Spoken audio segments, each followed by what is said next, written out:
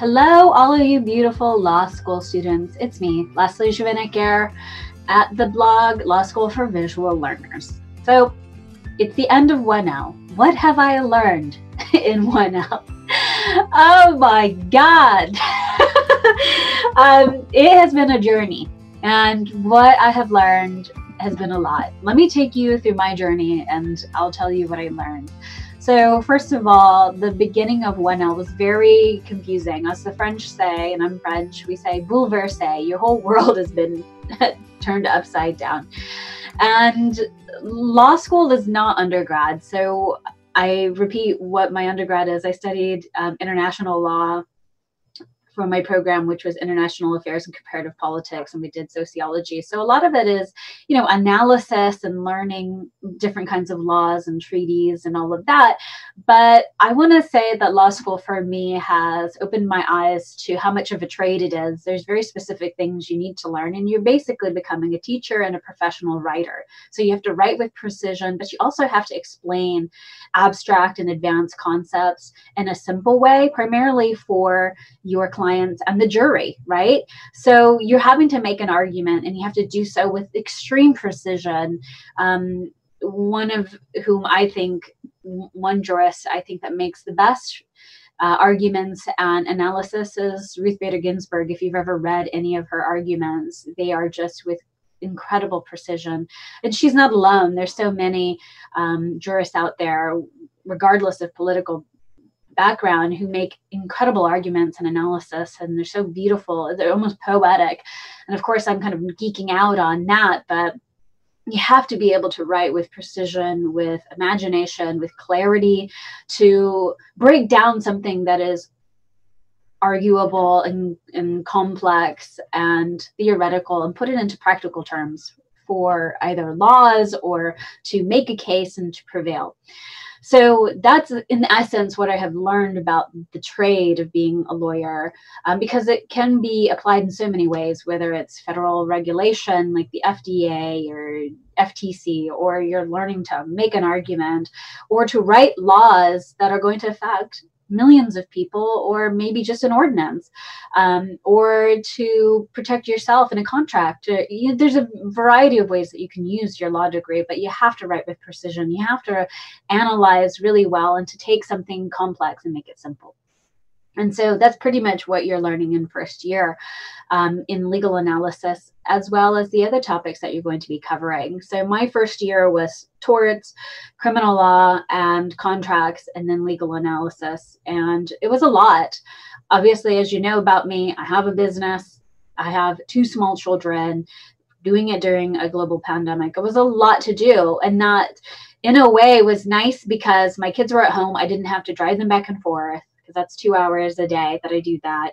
And then, you know, there's no social things, so nobody's asking me to go out. So that cut any kind of conflict with, oh, I can't go, I'm studying.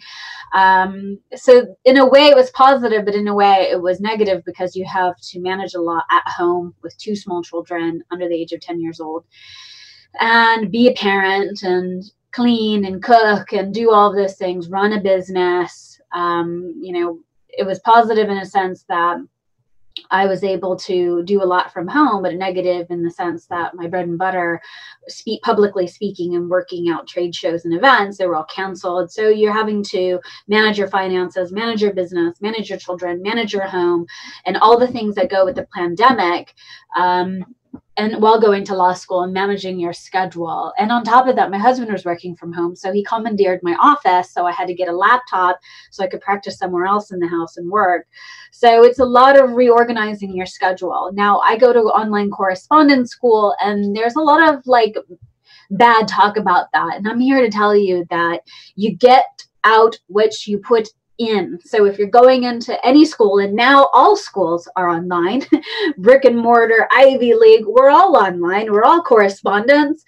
And I think it also helped to get my school accredited in California because of this right now, which goes to show that you, you really get out what you put in. And as I've said before in a previous episode, in term in terms of like why I chose a correspondence school, there's no way I could go to a brick and mortar school. There's no way I could drive an hour plus each way to UC Irvine, I'm in San Diego, and come back and spend 11 hours there and see my children grow up and run my business. If I were to do that, it's I'm simply not possible for me. So it is a lot of managing. And the second thing I want to say is, is that you're going to have professors who want to help you, but they're limited and they can't. Um, we don't have office hours in my school. You have um, message boards. I don't have time to wait for somebody three to four days to respond to a message board. So I did what I did. I hired a tutor and I paid a premium for that. But I, again, I got out what I put in. So for me, hiring a tutor changed everything. It got me on a track very quickly. And it was really important for me to get the answers, not Socratic questions to my questions to help me think through it. I really needed somebody to just break it down for me straightforward. So paying for a tutor was everything. And I got lucky.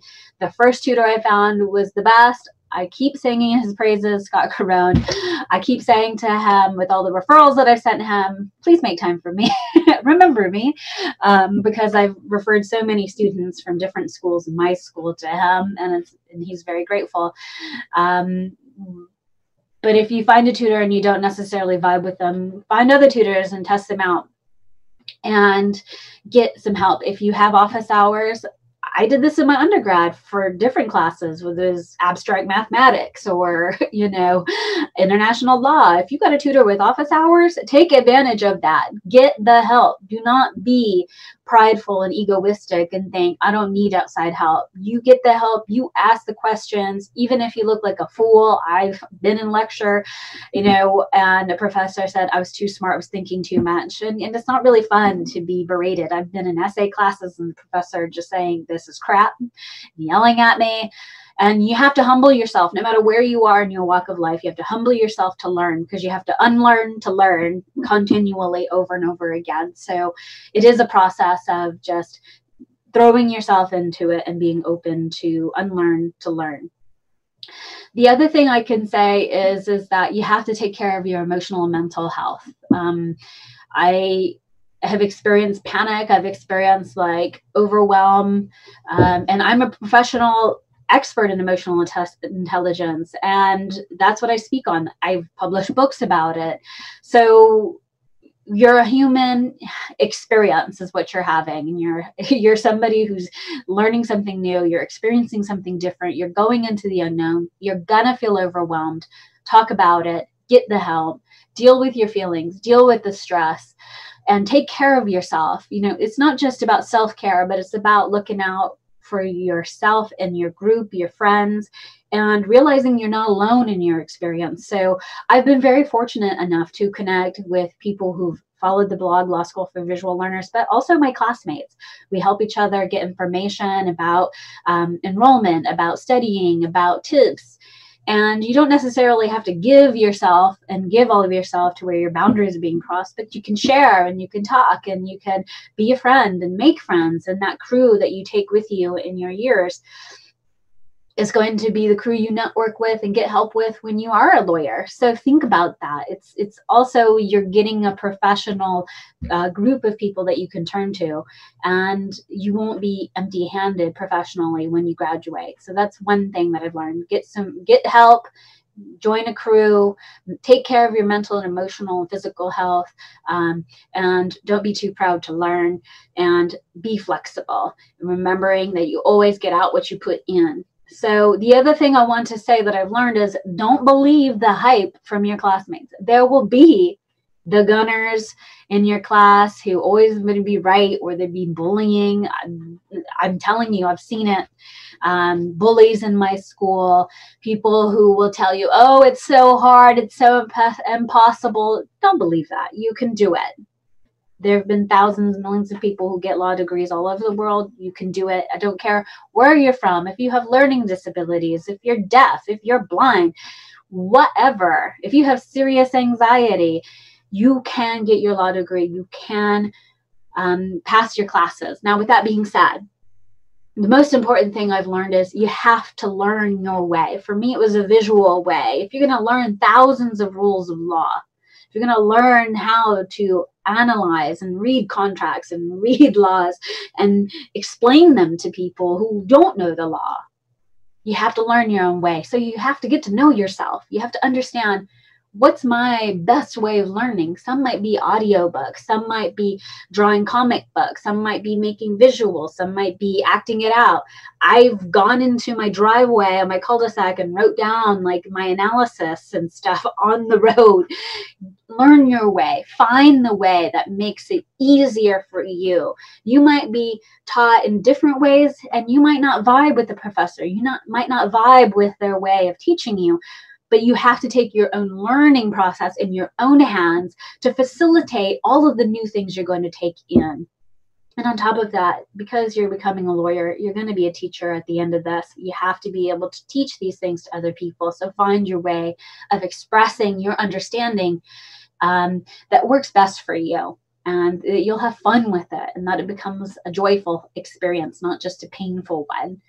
The other thing I would have to say that I've learned is is that you got to laugh at every experience. You got to make fun of it. You got to laugh, um, jokes, but not to the point to where it you're just talking about how hard things are and how difficult it is and how it's not worth it because there's so many different kinds of lawyers out there whether they're working for the government whether they're working for the white house whether they're working and don't even have a license and they're working for the FDA or for um, pharmaceuticals. There's so many different ways that you can be a lawyer today without having to be a private practice attorney. So, with that being said, you got to find and explore all the professional options that you have available to you now. Don't wait, do it now.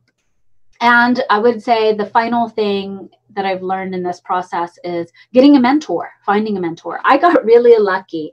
I watched a documentary and I found a retired Supreme Court justice and we just hit it off, like friend level hit it off. Just and and the thing is is that I don't ask him for advice all the time. It's just somebody who can give you a little bit perspective and it kind of turned things around for me because I remember when I got my grades, I called him and I'm like, this doesn't accurately reflect how I feel about myself. My grades don't reflect my concept of myself.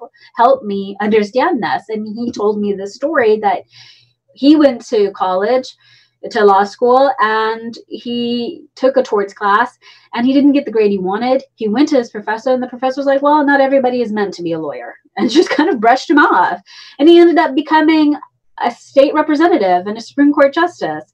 Um, and he's like, You know what, Leslie, like, you're going to have people who naysay to you. And he's right. I didn't become a lawyer. I became a judge. I became a Supreme Court justice. So you got to have somebody who's walked the line, who can give you perspective, who can encourage you, and who can also shoot you straight, who's not going to sugarcoat things and who's going to just look out for your best interests and point you in the right direction and who can be honest with and have fun with, honestly.